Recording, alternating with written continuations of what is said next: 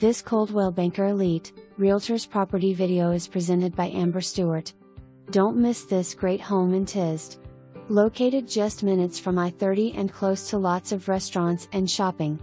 This house has 3 bedrooms, 1.5 baths, a large covered back patio, and a huge backyard and building for your extra storage needs.